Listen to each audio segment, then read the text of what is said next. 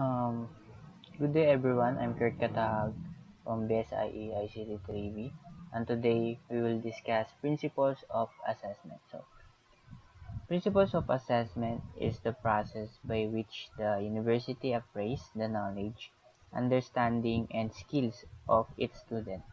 Um, Durham's assessment policies and procedures therefore need to be a um, cornerstone of university approach to assuring the academic standards of, of its awards. Assessment also plays a key role in the student learning process and consequently is crucially important to the quality of learning opportunities the university provides to its standards. Consequently, the university has agreed the following principles of assessment that um, underpin its comprehensive range of assessment policies, procedures, and practices. The first principle is assessment will be valid. Assessment will be um, designed to measure student achievement of the intended learning outcomes, and all intended learning outcomes will be summatively assessed. The process for the approval of new modules and programs and for amending existing modules and programs will ensure that assessment is an integral part of module and program design, and the, the ongoing validity of assessment will be considered through annual and periodic review.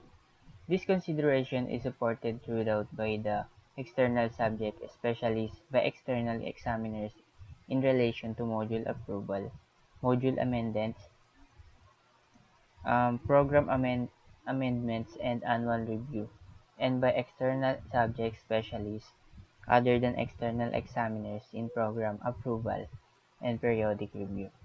The next principle is assessment will be reliable. To ensure the level of consistency that is necessary for assessment to be reliable, all awards that same academic level will be aligned with the university generic qualification descriptor, level descriptor, and assessment criteria for the level of award.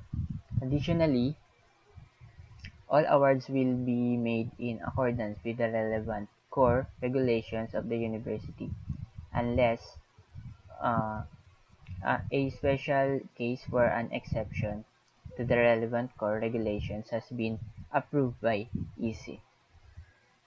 The next one is assessment will be equitable.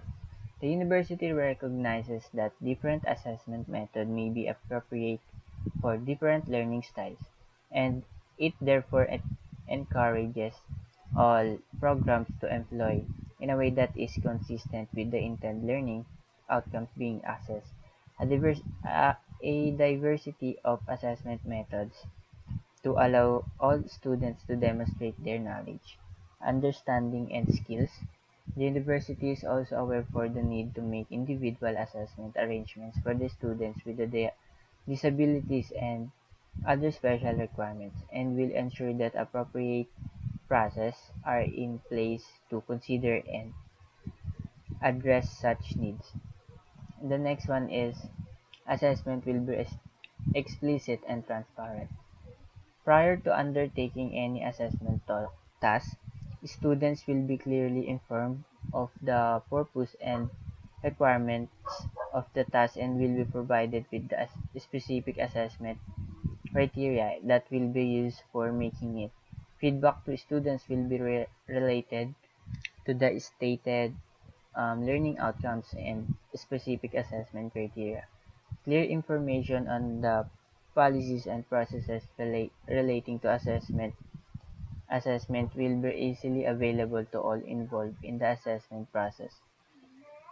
And the next principles will be discussed um, Bryan Montano. Number 5. Assessment will support the student learning process. Assessment will be explicitly designed to measure student achievement of the intended learning outcome, and all intended learning outcome will be summatively assessed. Number 6. Assessment will be efficient. Assessment will be efficient for both student and staff such that learning outcome are not overly assessed and the knowledge and skill can be sampled. Number 7. Assessment outcome will be monitored and his monitoring used to support enhancement of assessment policy and practice. Student performance in assessment tasks will be monitored on an annual basis by departments or school to ensure the assessment continue to be consistent with the principle of assessment outlined above. Number 8 and the last, staff involved in assessment will be competent to undertake their responsibilities in this area. The university will ensure that staff involved in the assessment process will have appropriate experience and training. That's all my report with Kurt Kataan. Thank you for listening. Sana po may natutunan kayo. God bless.